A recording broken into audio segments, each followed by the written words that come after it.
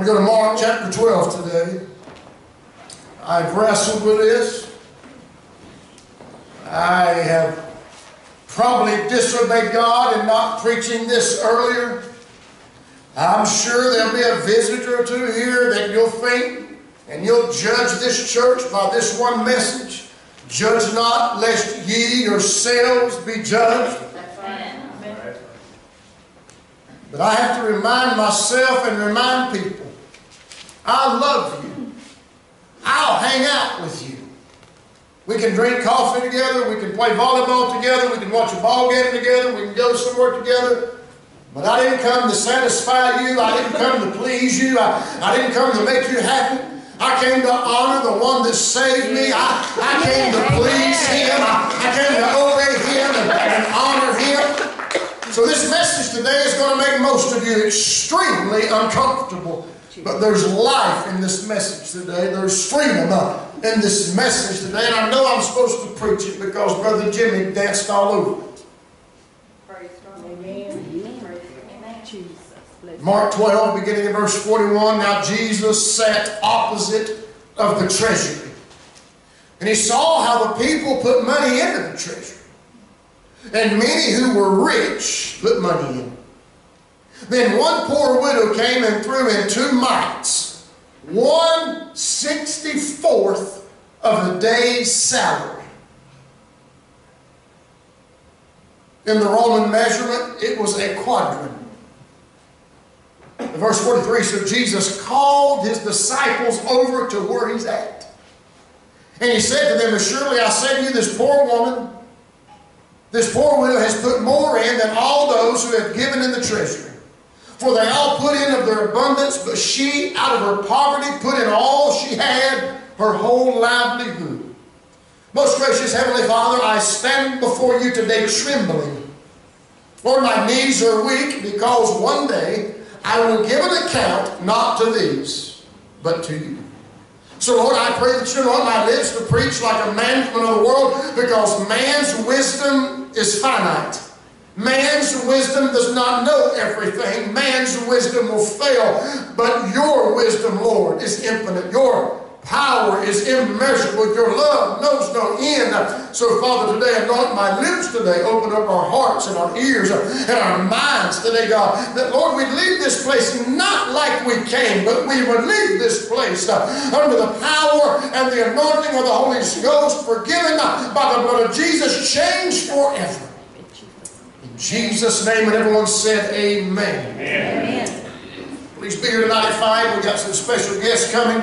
We got the, uh, the drama team from Eneyville Church of God. They will be with us tonight ministering a service. There'll be no preaching. So if you want to come and, and see these fine young people as they minister in black light. After that, we're going to go across the street and eat some pizza and have some fellowship. Don't miss tonight at 5. Do not miss tonight at 5. For the next little while, I want to preach to you about money. And like I said, I've probably disobeyed God. We've been here almost eight years. Sister Mary, I've never preached on tithing. Brother Jimmy, I hadn't preached on it maybe because I thought I might lose a few people. So I'll preach this one time in eight years, and there'll be four or five people that leave the next day. Oh, that preacher wants the money. God help you. You don't know me. But did you know most people spend their life in pursuit, chasing after money? Right. Making it, getting it, having it, obtaining it, protecting it, saving it. Not me, preacher. You have a job, don't you? Right. You have a job, so you get a paycheck. And you don't want nobody met. You go to the bank tomorrow and see your money's gone, you're going to be upset. You don't like nobody messing with your money. You don't like losing money. And we spend our lives pursuing a paycheck, wealth, an inheritance. I'm amazed when somebody dies, people that hadn't been a part of the family in 50 you show up with this. Amen. They're pursuing money. And we spend our lives pursuing a paycheck so we can get, so we can buy, so we can have, so we can purchase. Not a new preacher.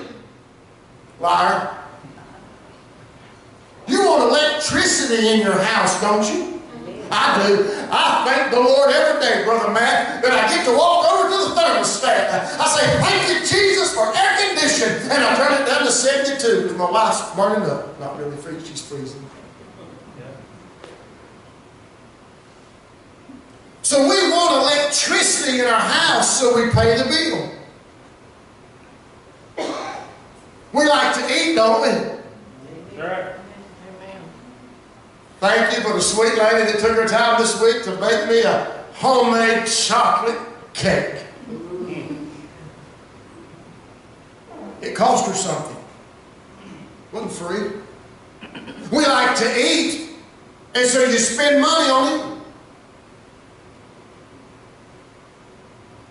The alcoholic will go without electricity. They'll go without this and that so they can have money to buy the alcohol. The addict will do anything in their power. They will sell themselves. They will steal to get money to buy the next fix. Yes. And if you're here today and you want a new car bad enough, if you want a new car bad enough, you'll find a way to pay for it. You want a new toy? You want a new bike, boat, ATV? You want a lake house, a sports car? You want a second TV? You want to take up horseback riding or sailing? It's going to cost you money. But we find a way to get what we want. We do. Beg, borrow, cheat, steal. It's the American way. Almost every time I go to the gas station, now somebody begging for money. So they put gas in the car. And if you don't have the money to get what you want, then you'll promise to have it by charging it or taking out a loan. I hear people say this all the time. Money is the root of all evil.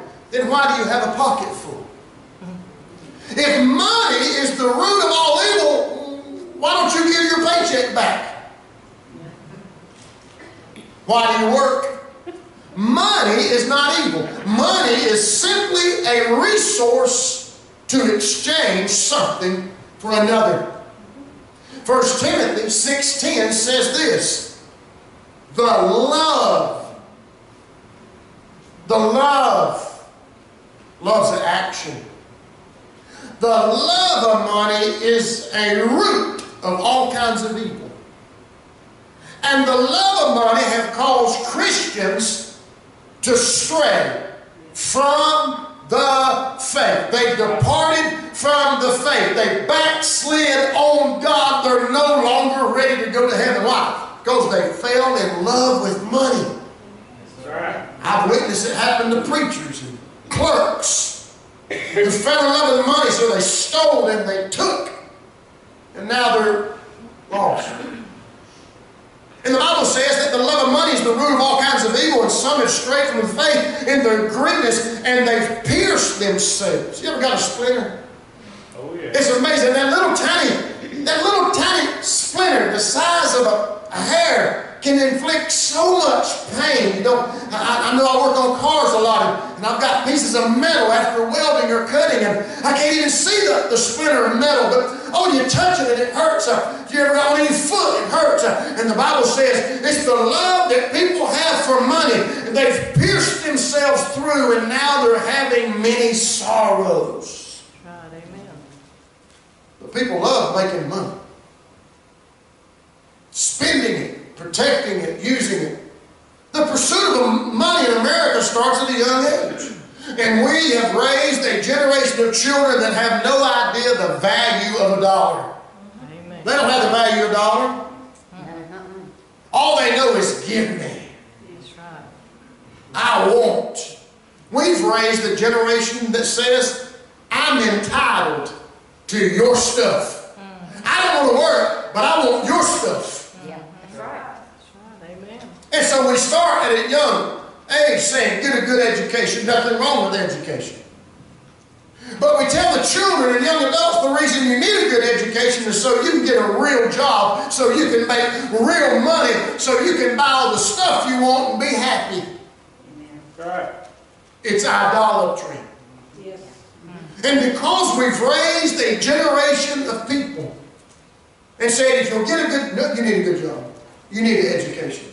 But to tell young people that the reason you need a good job and a real education is to make real good money, to buy everything you want, will bring them happiness. What happened is greed has been birthed. Right. Prejudice has been produced and now people are divided into classes and, and if somebody don't live like we live or dress like we dress or drive what we drive or work where we work, we look down on them. We look down on the waitress, the grocery store clerk, the trash man. And it's happened because of the American greed. It's why our nation is 19 trillion dollars in debt because Americans have grown to hate God and love money. Right. Right, amen. It's why families spend more than they can make Amen. keeping up with the Joneses. People buying things they can't afford with money they don't have to impress people they don't even like. And the love of money, we just read, the love of money is the root of all evil. And the love of money has caused divorce. Right. It has caused suicides. It's the love of money and profit. Wars have started. Corruption has come. Bankruptcy takes, not me, preacher. And why do you get so upset when you lose a dollar? Why don't you give some of your money away if, it, if you're not that way? Why do you get so upset because of inflation? And the value of something we know is determined by what somebody's willing to pay for it. And if we don't love money like so many other people, why does three-fourths of the church refuse to pay tithes? Three-fourths. This church operates on about 12 people paying tithes.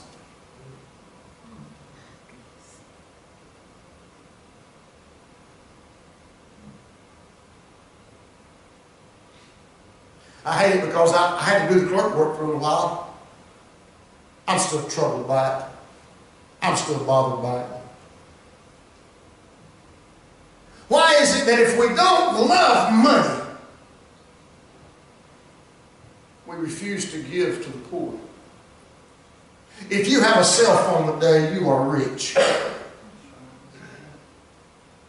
If you have more than one car, you are very rich. If you have a thermostat to adjust, you're in the top three richest people in the world. If you went out to eat at a restaurant this week, you're rich. And if we don't love money, why do we refuse to give to missions? Here's my question. What does Jesus? Does Jesus even care about money?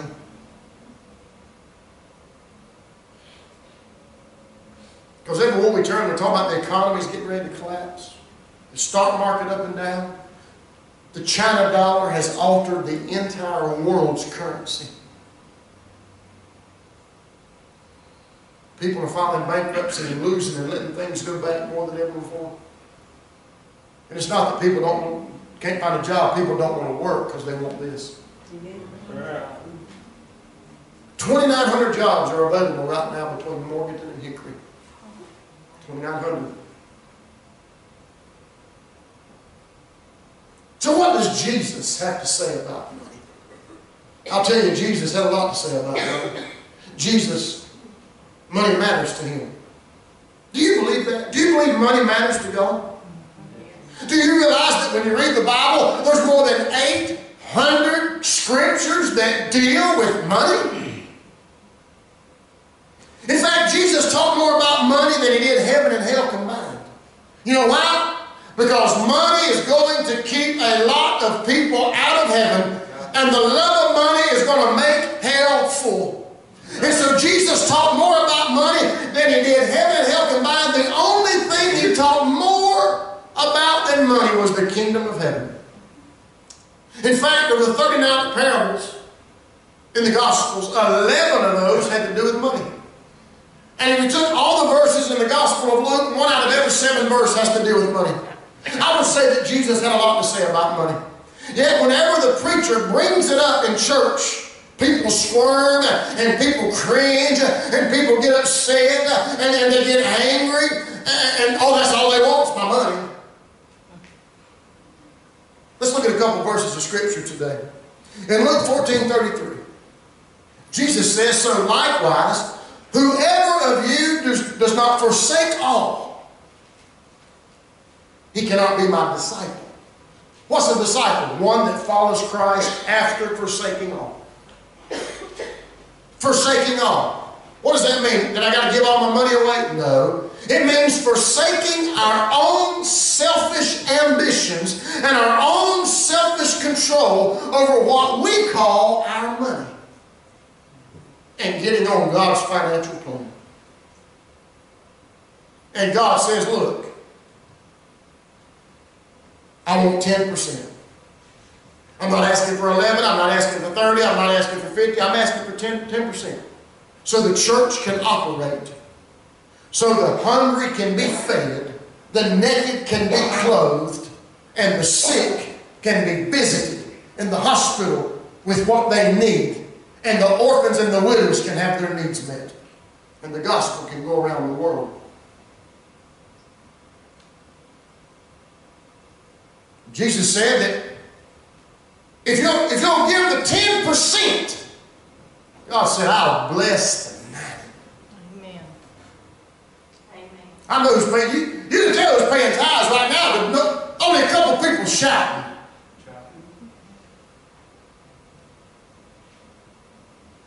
But God said in Malachi 3.10, He said, bring all the tithes into the storehouse. What's the storehouse? The place, the place that your soul gets fed. Why? That there may be food in my house. And he says, try me. This is the only time in 66 books, in more than 1,500 chapters, God said, I want you to put me to the test. He says, try me. And see if I, when I open the windows of heaven and pour out a blessing, you won't even have room to contain it. That's right. You know what we want?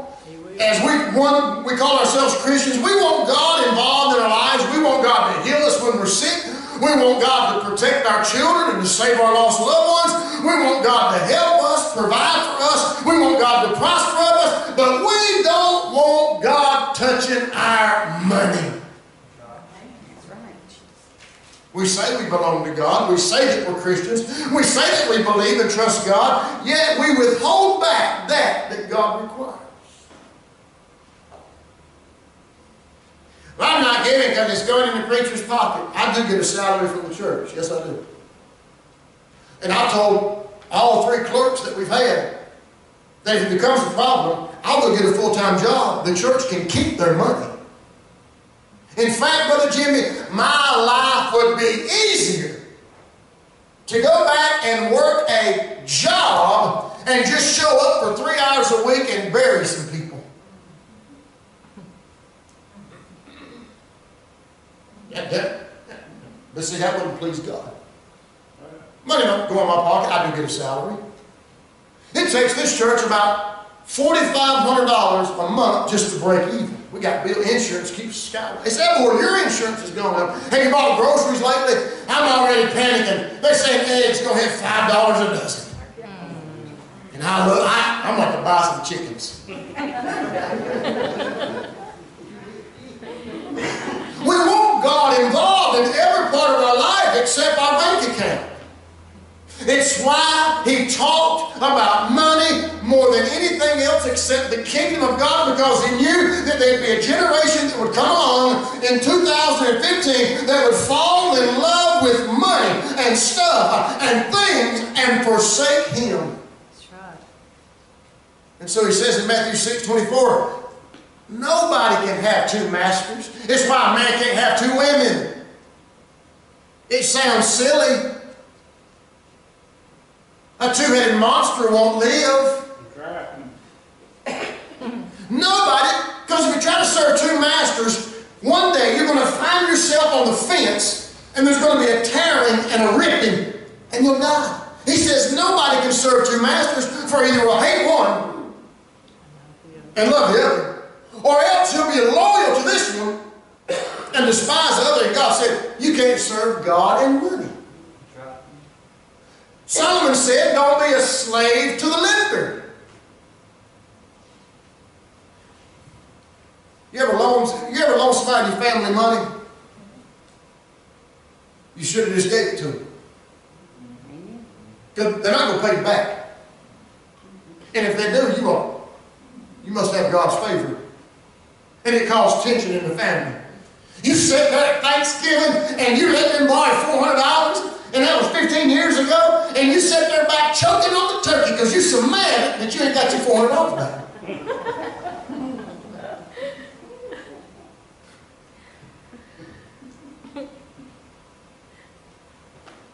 We say we belong to God. We say we love God. We say we trust God. Yet we withhold back giving to God. You know what we're saying when we refuse to pay tithes and we refuse to give? When we refuse to, to help the poor and the orphan and the widow and the bleeding and the dying? You know what we're doing? By our actions, we're saying, I can't trust you, Jesus. We're saying, I don't think you can take care of me, God. I know that you created the heavens and the earth, and you spoke and there was light, I was formed in your image, and you scooped me out of the dirt, dirt of the ground, and you breathed life into me, and you named every star, and you know the numbers of the hair on my head, and I I know all these things, but I just don't think you can take care of me, God, so I'm going to withhold. Oh. We're saying, I don't believe, I don't believe God's telling the truth. We're saying, I don't believe your word. Tell you what, you get real sick, you get a real bad doctor's report, you'll be wanting to find the preacher, or you'll be wanting some saint to come and pray for you, or you'll be praying yourself, why, you want God to heal you. But when it comes to finances and money, we say, Lord, I just can't trust you. I don't believe in you. I don't think you get the job done, God. I don't think there's enough strength in your word. You know what? And what we've done, we've trusted in our jobs. We've trusted in credit cards. We've, we've trusted in loans. And in themselves, there's nothing wrong with those things. But when we place our trust and our life revolves around a job, what happens when you lose the job, your life is going to fall apart. Right. Besides, it was God that gave you strength to work anyway. Amen. All throughout Scripture, the Bible says it's God that gives the increase. It is God that gives the ability. It is God that gives the, the, the, the talent to work. So He gave you the job. He gave you the strength to work. He's the one that provides the paycheck. And besides, it all belongs to Him anyway. Right. And in our text today, Jesus is at church and he's watching. He's watching who gives, and we don't do that here. But God was watching. And Jesus, evidently, his disciples were standing over a corner and they were talking about the Steelers and how terrible they looked yesterday. They got, oh, they didn't have football back then? The disciples were over to the side and they were having their conversation. And Jesus is sitting there and he's observing what's being put in the treasury. And he sees the rich and the wealthy. He sees them come in with great fanfare. He sees them in their fancy coats and their, their enlarged robes. He, he sees all the plush and the pomp. And he sees and hears the sounding of the horns and, and with great bragging. And they, they, they, they wave what they're getting ready to give. And look at me. Look how much I gave to the church. Look, look what I did for so and so. And then Jesus, through all the fanfare and the pomp of the rich, he sees this one widow woman. She most likely lives alone. Her husband's died.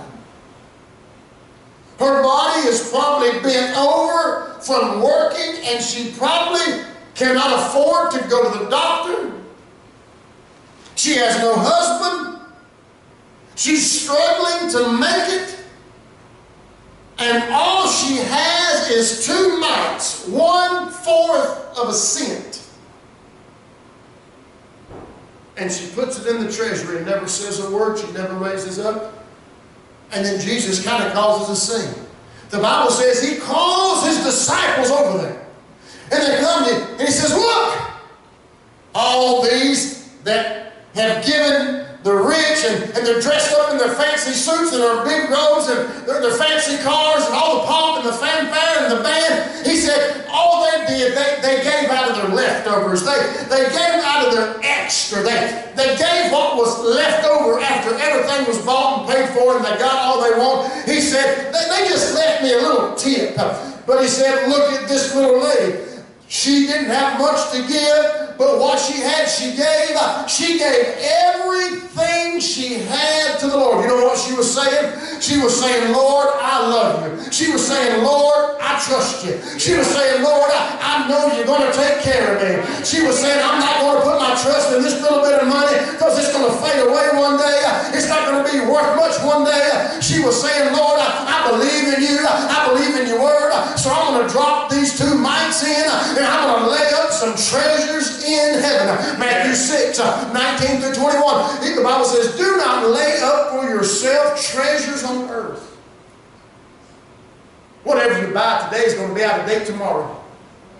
And again, I'm not preaching get stuff. I wish every one of you had a brand new car. I wish every one of you had a brand new house, a great paying job. But most people can't handle it. I'm not preaching against having stuff, but you better look out. Stuff might have you. If there's anything that you hold on to that you're not willing to let go of, then it has you. It has you. Your favorite toy, your favorite TV, or whatever. If you wouldn't give that up for God, then that has you. Jesus said, Do not lay up for yourselves treasure on earth. Why? Because moth, what does moth do? That, man, they, they will eat stuff away. And rust, rust destroys things. And where there's thieves that break in and steal. You know, it's funny, we, we pay a lot for stuff, and then we pay a lot for insurance to protect the stuff that we have. And then if something happens, we can know about the insurance. But lay up for yourselves treasures in heaven. There's no moth, there's no rust, there's no thieves, it can't be stolen. And then Jesus makes this declaration for where your treasure is, that's where your heart's going to be. So the question today is what's your treasure? Is your treasure your paycheck, your bank account, your credit cards, your money? Is it your car? Is it your house? Is it your boat? What is your treasure? Because whatever you treasure, that's where your heart's going to be. And where your heart's going to be, that's where all your effort's going to be. It's where all your work's going to be. It's where all your money's going to go. That's why our treasure ought to be in heaven. It's why our treasure ought to be Jesus Christ. Here's what I've learned about heaven. In heaven, we have an eternal account. And evidently, when we get to heaven, we're going to need this account. I, I don't know why, but we have an account in heaven, or they wouldn't be. And Jesus is telling us that everything here in this life fades, breaks, grows old, can be ruined, lost, stolen, and we get so worried and caught up about it. And so Jesus said, lay up treasures in heaven where it's safe and secure. But you know what's happened in America the last few years? We've become now-minded. We want our blessings now. And God does bless now. But when all we do is pursue physical blessings, they're going to fade, get, get old. You remember John the Baptist? The Bible says he was the forerunner. That he prepared the way of the Lord. Did you know John preached a sermon on giving? In Luke chapter 3. And in that congregation that day, there were three types or classes of people. There were the regular folk. There were the soldiers. And the IRS was there. Mm-hmm. The tax collectors. And here's what, here's what John the Baptist said in Luke 3, beginning of verse 10. He had preached about repenting.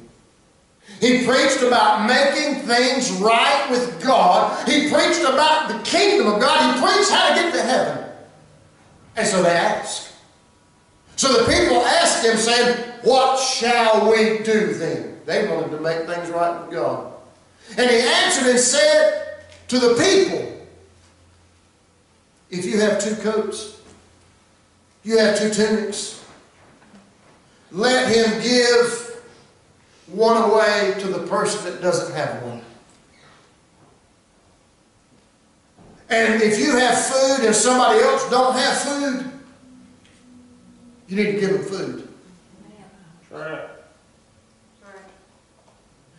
Telling the regular folk, that's me and you. I don't think we have any IRS people in here. And our soldier, he's in South Korea. He's telling, John the Baptist is talking about giving to God. For whatever you do to a stranger, you've done it unto God. Oh, they to buy, they to get a job. They, to buy, they're going to go buy some liquor with it. What if you get to heaven and it was an angel that you entertain? Oh, you don't believe in that? That's what the Bible says.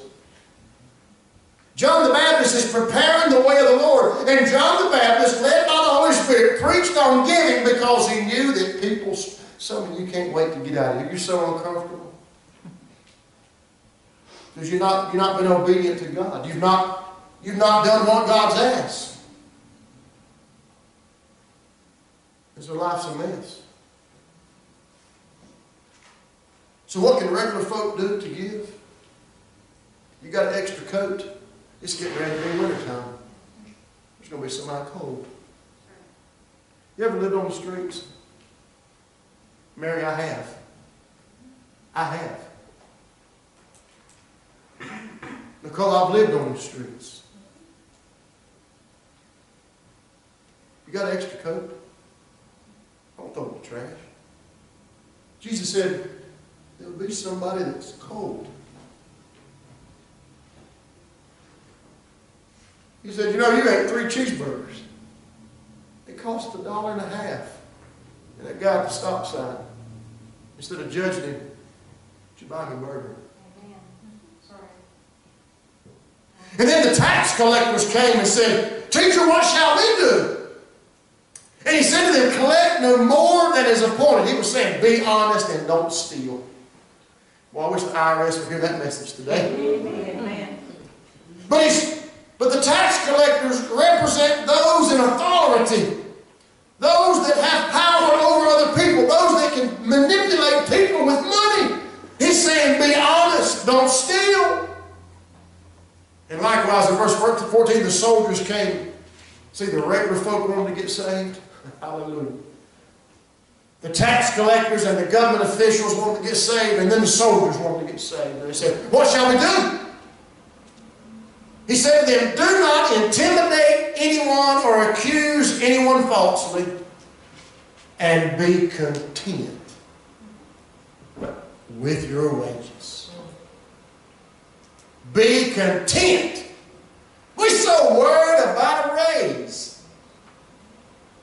You're mad because you hadn't got a raise.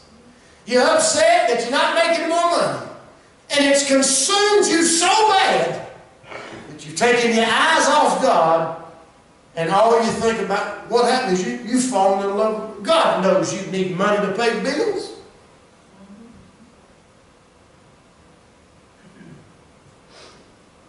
We're so worried about money.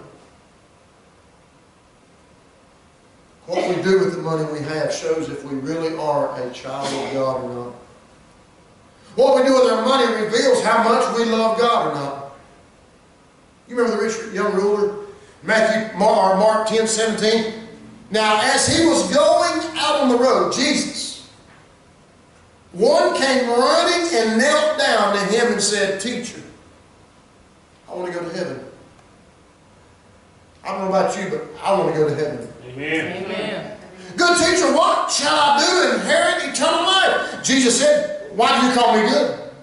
There's none good but one, that's God. You know the commandments. Don't commit adultery, don't murder, don't steal, don't bear false witness, don't defraud, honor your mother and father. There's other commandments. And this young man said, Teacher, I have kept every commandment. He's done better than I have. Amen. He's kept all the commandments. Jesus said, if you love me, you'll keep my commandments. There's a false gospel going around today that says that, that the Old Testament's old and, and that you don't have to follow that. But Jesus said, if you love me, you'll, you'll follow my commandments. And so Jesus looked at him, and the Bible says Jesus loved him. Can I tell you, Jesus loves you today? Yeah. And said to him, one thing you lack. See, this young man, like most people today, they wanted God in every area of their life except their finances. He said, one thing you lack, go your way, sell whatever you have, give to the poor, and you'll have treasure in heaven. And come and take up the cross and follow me. But verse 22 says, But he was sad at this word, and he went away sorrowfully, for he had great possessions. He loved money more than God. When we give to God, when we give offerings to God, those offerings go to, to feed, to clothe, to shelter. When we pay tithes, we're not only saying, Lord, I trust you, and, and Lord, you can have all of me. We're not only saying, Lord, that I love you, but did you know every time that you give to God, you're building a memorial to God? What's a memorial? Something to make you remember. Makes you remember. Some of you have had pets that you loved and they died, and you got a memorial in the backyard. I hate the day when that little dog we have dies, Brother Albert. My goodness, we'll be going to a doggy funeral home probably. But I've been to people's house and, oh, don't step there. That's where Toto's buried. And they got, they bought a tombstone for Toto. That's fine, that's, that's your prerogative. But it's a memorial so so they won't forget. We drive by sign, this is the Memorial Highway, or this event took place here, or this is the Lincoln Memorial, or this took place here. It's to remind us. And the Bible will preach a where in the world do you get that from? That us paying tithes and, and giving the feed and the clothes in Acts 10 31? Cornelius, this is God talking.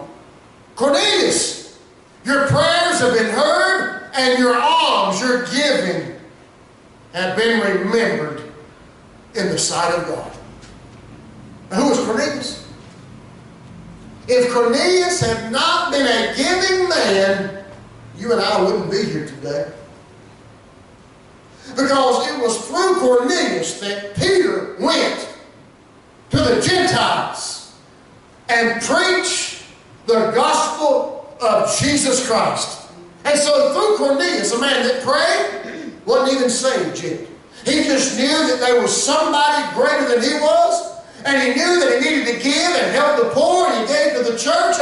And God said that it's come up before me as a memorial. He said, I remember somebody. I remember somebody that's looking for me. I remember somebody that needs me. And God showed up and sent Peter, and Peter preached.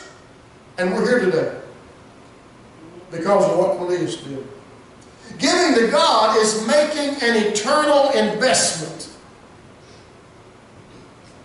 When the stock market crashed a few years ago, there was people that jumped out of buildings and broke their necks and died. I worked in the grocery business for many, many years. In fact, I worked two jobs for about 18 years. Why?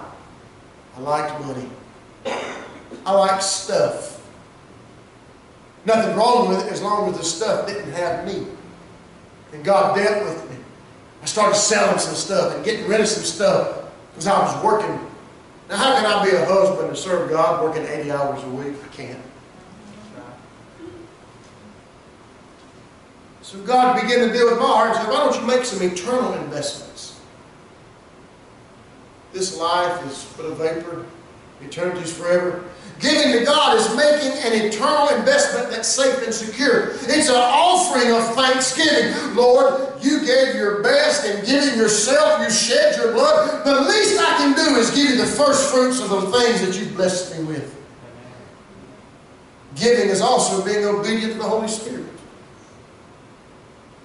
Now, church, I'm not here today to guilt you into giving.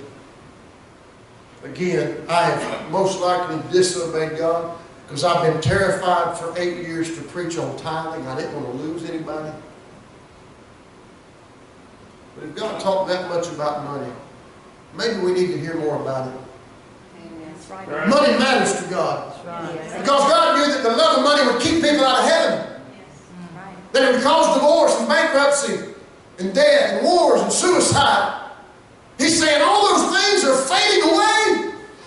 Yet God knows what we need. He knows the power bill needs to be paid. He knows food needs to be put on the table. Paul said this to the Corinthian church. 2 Corinthians 9 7. So let each one give as he purposes in his heart. Ain't nobody, ain't no preacher should come up here and beg and plead and guilt you into giving. But each one give as they purpose in their heart. Don't give grudgingly. Or because oh, I have to give. But God loves a cheerful giver. Yes, he does. Right. It all boils down to this. Giving to God is a matter of your heart. Those that refuse to pay tithes, your heart's not right. You can do all the motions, you can read your Bible, you can come to church, you can raise your hands, you can teach a class, you can witness. But if you're not giving what God asked, your heart's not right. I want your heart to be right.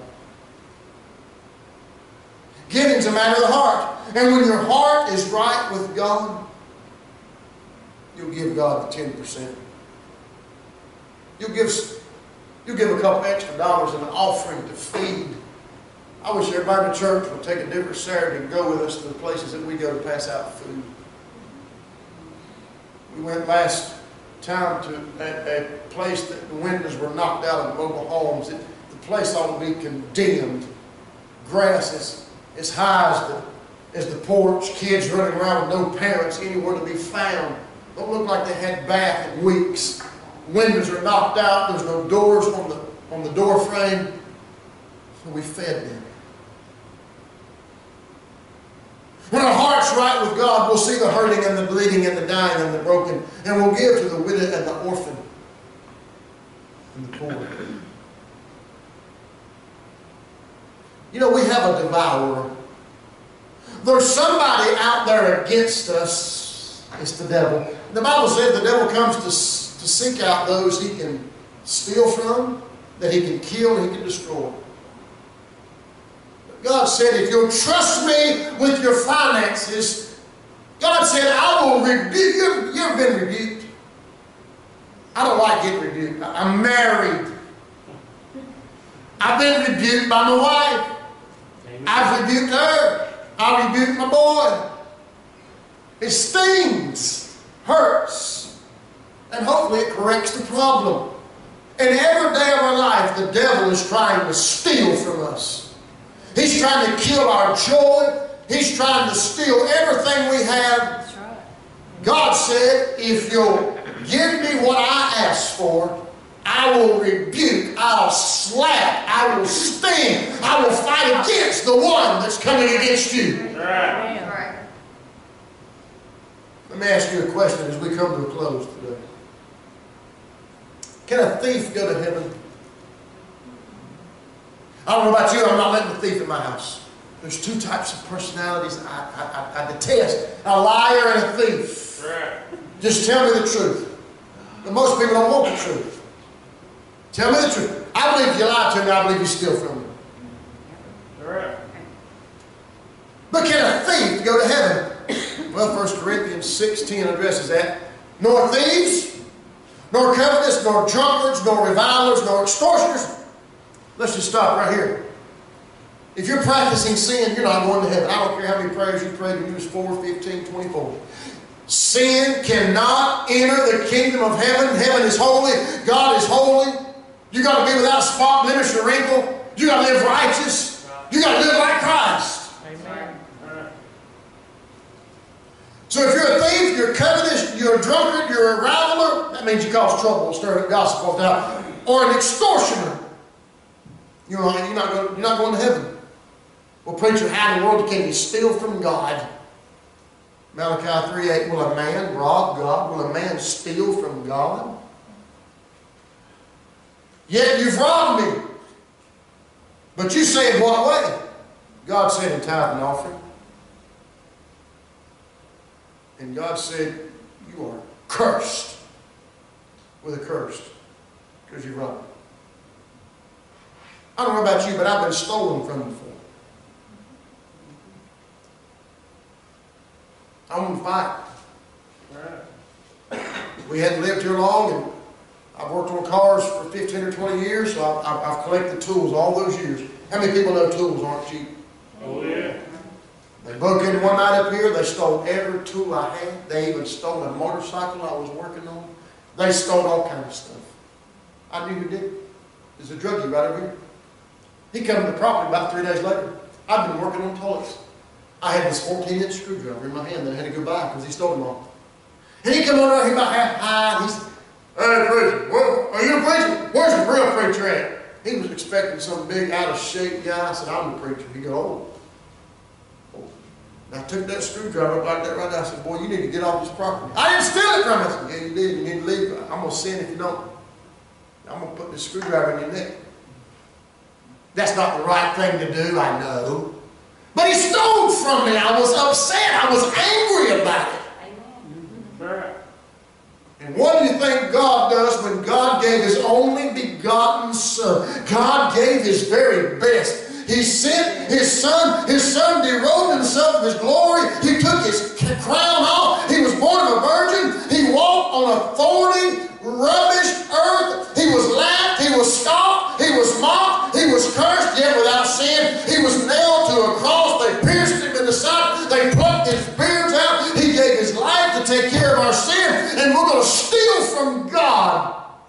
Because we don't want God to touch the bank account.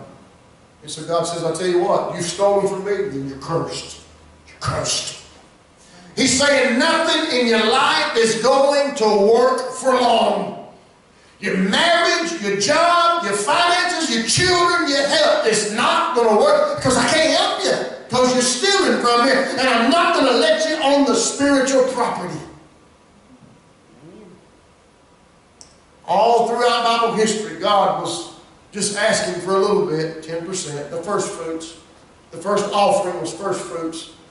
Abraham tithed the first fruits to Melchizedek. All through Scripture, David tithed, Solomon tithed, Hezekiah tithed, all these gave. The truth of the matter is, giving is a matter of the heart. And so is your heart right today? Are you, some of you mad. You mad right now. Your heart's not right. You ever heard this? Put your money where your mouth is. That saying came out an interpretation of what's going on in the Bible. God's saying, you say you trust me. You say you love me. You say you want me. You say you want revival. You say, God said,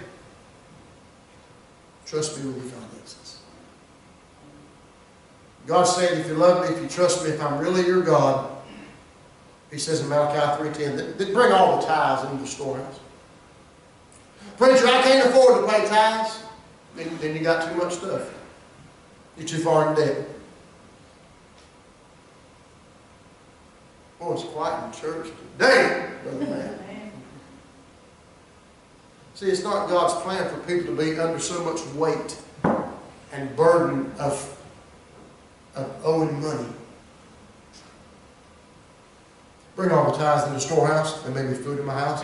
Try me, says the Lord of hosts. See if I will not open the windows of heaven, pour out a blessing if there's not room enough to contain. Then he says, I will rebuke the devourer for your sake. Yes, you will. So that he will not destroy the fruit of your ground.